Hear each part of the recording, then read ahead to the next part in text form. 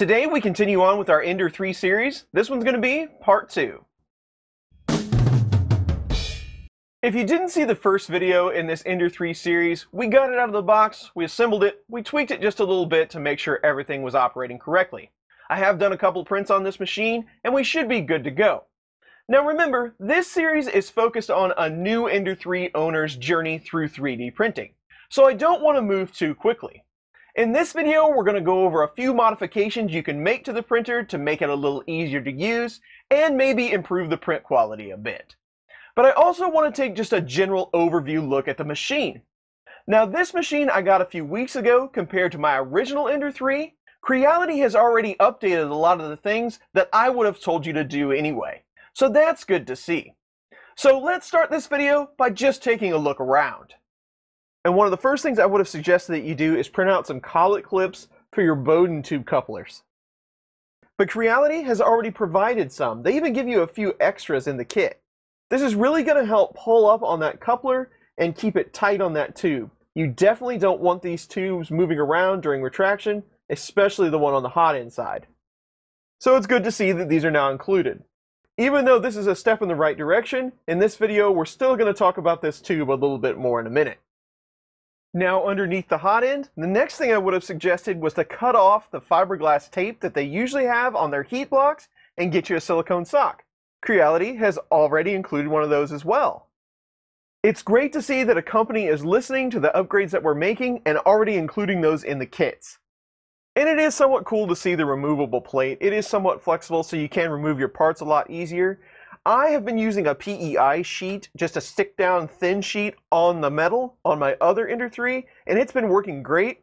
So maybe later down the road, consider putting some PEI on the other side just to give it a try. That way you have two sides to choose from. To start out though, this mat does stick really well, so we should be good for now. And while we're on the subject of the bed, how about a thermal look just for fun? This is set at 60C. It doesn't look too bad. A little cool around the edges, but that's acceptable. And here it is at 100C. You can definitely, it's got a lot more concentration of heat here in the front than in the back, but for 100C, not too bad. And how about just some quick noise level benchmarks? This is it not printing. And here it is printing with the part fan on.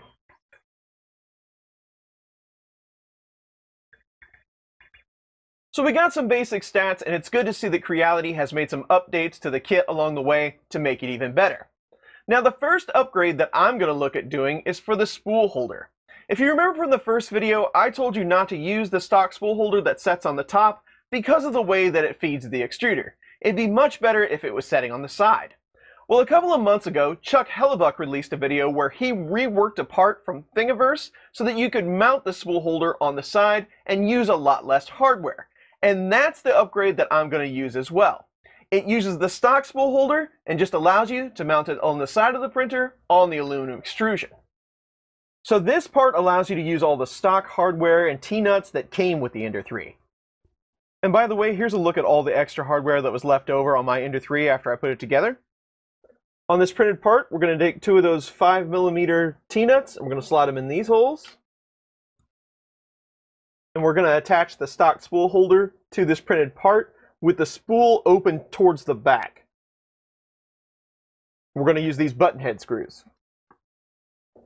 And with my last 5mm button head screw and T-nut, I'm going to use it in this top hole here to screw it down to the extrusion. And then on the printer, we can pop this end cap off. With the cap off, we can just slide it on. And then we can bring it up pretty close to the Z motor. It's going to feed it kind of towards the back, but it's a lot better than feeding it from the top. And we can tighten up our top screw. And we can put our cap back on. And then our spools will just kind of hang out back here, and it's going to have a lot straighter shot at feeding that extruder. Now let's talk about Bowden tubes for a second. The one that comes stock on the Ender 3, the internal diameter is quite large.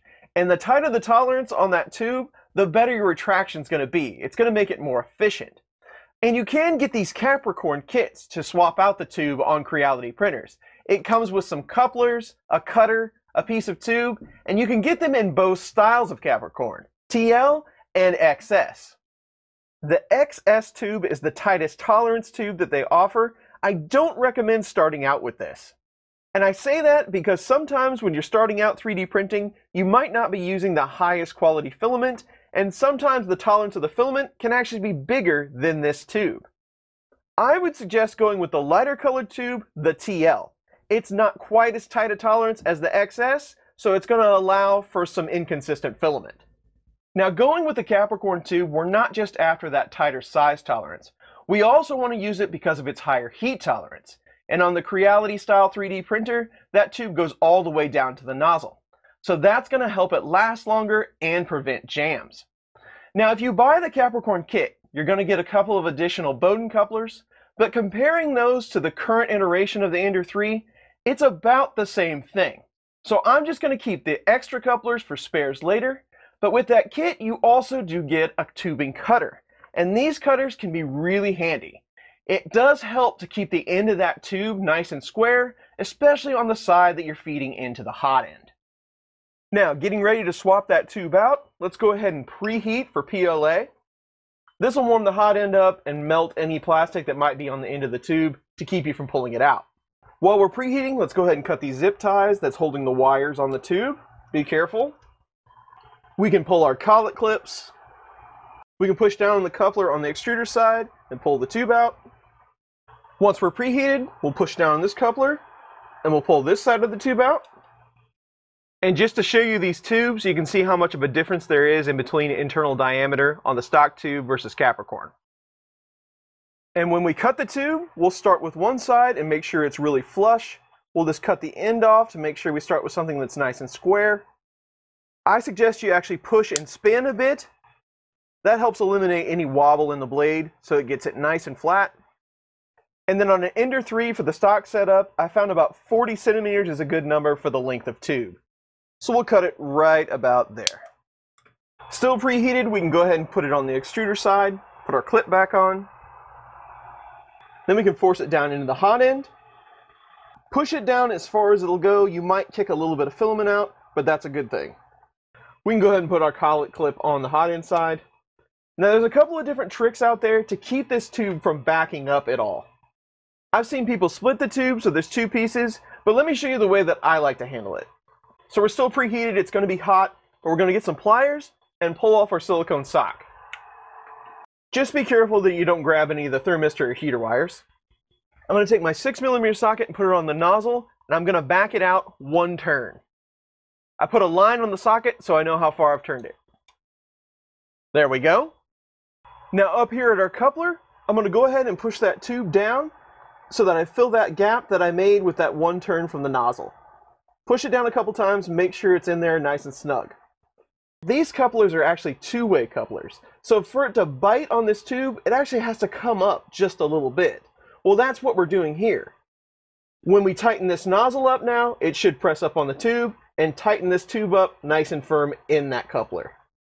So we'll go ahead and tighten our nozzle back up. You can use a torque wrench if you have one, but just don't get it crazy tight and you should be okay. And there we go. Now that tube shouldn't be going anywhere and you won't have any jams. When you're all done, you can put your sock back on. Replace a couple of the zip ties on the wires. Don't get them very tight. You don't want to risk pinching that tube. And we should be in good shape. And in my opinion, swapping out that tube and going through that nozzle tightening procedure is probably one of the best things you can do for any Creality machine. Now our next upgrade is one that's always kind of bothered me on the Ender 3, and that's the space that's open underneath the LCD screen when you're trying to use the control knob. And you see what I'm talking about right here. Anytime you come in and try to use that knob, almost always you're touching some sort of solder joint on the bottom of this PCB. Fortunately, there are a ton of great covers that can go on the bottom of that, so it's much more friendly to use. So this will actually just screw on the bottom using the stock screws. So we can take these two screws in the front here loose. That'll let us remove our screen. We can flip it over. We can take the ribbon cable off for now. We can take these four screws loose. They're threaded into the metal cover. We don't even have to take the screen off fully. This cover will just slide down over the speaker and the ribbon cable connections, just like this. And then you can just put the stock screws right back on. Covers installed, looks much cleaner. our ribbon cable can go back on, then we can put our screws back in and reattach our screen. And it's all done. That is so much better when you're using it, you don't touch that PCB anymore. Next up, a part that's really simple but can be really useful. The wires that support the hot end carriage, the heater, the thermistor, the fans, they tend to be really long on the Ender 3, and that loom can interfere with the Y carriage movement. So a simple bracket to zip tie that wire to to get them out of the way is really handy. So here's the bracket we're going to use. It has a couple of holes for zip ties so you can attach that wire loom, and a hole down here. It'll be sandwiched in between the screw that holds the extruder arm on, this one right here. So we'll just take out that screw, we'll set our bracket on right there, and put that screw back in. Easy enough, make sure the hot end carriage is all the way to the right so we have enough wire to support that movement. Leave just a little bit of slack and then you can slide your wires in that bracket. Run some zip ties through the holes. And it's done. Now those wires are out of the way and it won't interfere with any of the movements. And for the last upgrade today, we're going to add some LED lights. Of course, adding lights to things always makes it cooler, but in this case, it's going to be functional as well. Just by getting a little more light on your build area, it's going to make it so much easier for you to see what the printer's doing and resolve issues if you have any. And for a new 3D printing user, this can be really valuable. I can't tell you how many times over the years, just by getting a little more light in there, made it so much easier to resolve an issue. And this is really easy to do, and it's affordable, so I'm not sure why you wouldn't want to add some.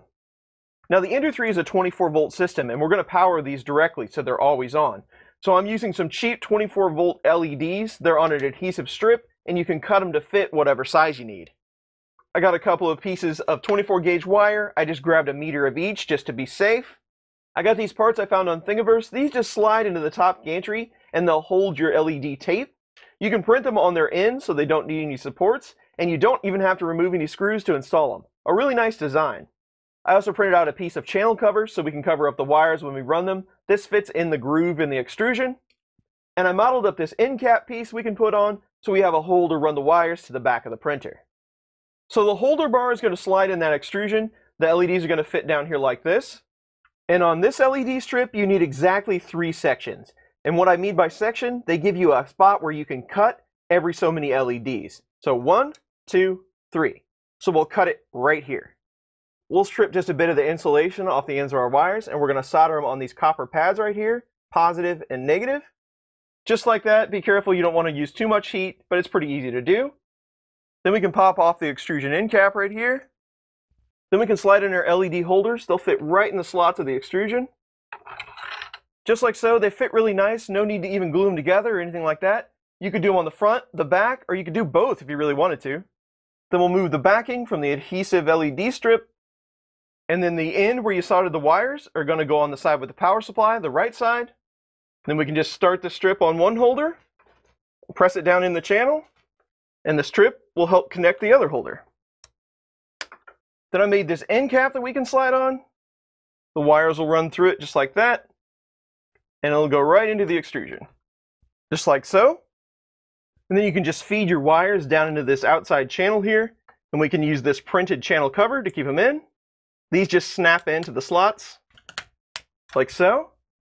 It probably wouldn't hurt to print out a couple of these. You could run them all the way down the extrusion and still put the power supply on and you'd be fine. We'll remove this screw down here, this screw up here. That gives us access to our power supply. Then we can remove the screws for the cover on the power supply.